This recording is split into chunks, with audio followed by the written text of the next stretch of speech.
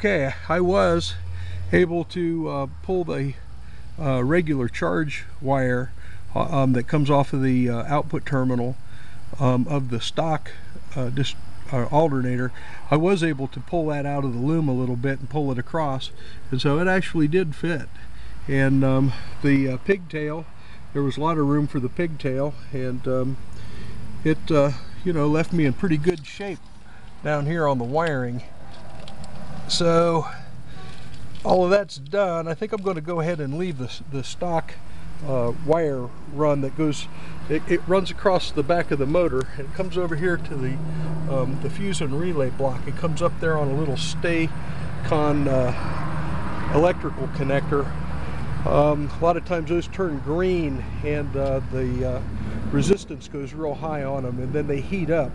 Um, I've actually seen them um, get the bus bars inside uh, that uh, that relay rack so hot that it'll just melt the whole assembly. And so uh, that's something that you want to uh, take a look at, be aware of. Also the fuse that's in there, um, the position of the fuse would be um, right here, this one that's marked 60 amps. That is uh, the size fuse that's in um, the uh, cars that have the 55 amp alternator and I suppose that's some kind of a protection from uh, overcharging or something in the electrical system. But that's a problem because if I'm making 105 amps and that's fused at 60 um, then uh, there's a possibility that that will think that it's overcharging and uh, clear that fuse which would be a problem. And so as I generally do I'm going to take that uh, uh, wire off the back of the alternator, I'm going to put a, a 4 gauge cable. I'm going to bring it over here and I'll bring it up around and then see I've got this fancy uh, terminal and I've got a hole in there that I can get a, another 4 gauge wire in and um, I'll connect that up make sure that I've got a good feed to it. A lot of people scrimp when it comes to the ground side. Now underneath this split loom that's right here um, I didn't have uh, the size uh, cable that I wanted, so I used three um, sections of 8 gauge cable and um, you know that runs down here to the uh, transmission mount. That's the main ground for the whole system.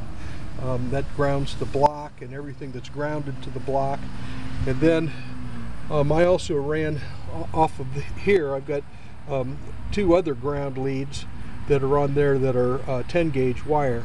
And of course I ran one over here to, to bond the chassis and the other one um, comes up in here and it's just for the headlights because I've got the high powered headlights in it.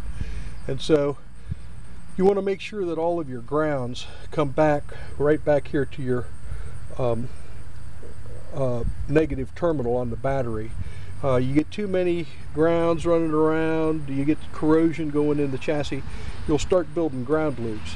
And so with all of the extra um, electronics that I've added to the car, all the relays and all of the things, everything that I've added comes back down onto this um, shelf that's under here and is bonded to that and then directly from there back over here to um, the battery ground so that um, that that uh, minimizes the chances that you'll get ground loops running in the system.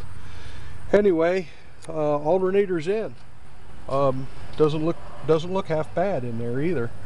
Um, after I get out of the sun and go back down into my layer I will record the finish of this I'll try to mix some of this down I know it's a little choppy and if it gets posted to YouTube uh, in this choppy manner it's just because I'm new at this whole video game I'm not even really uh, good at narrating these things so um, I'll try to work on it a little bit but I apologize if it hits the the internet the way it is